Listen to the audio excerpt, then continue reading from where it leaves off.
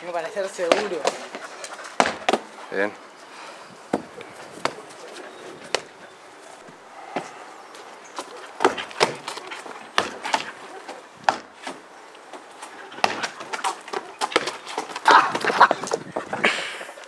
¿Pegaste a mí? Está bien, ¿eh?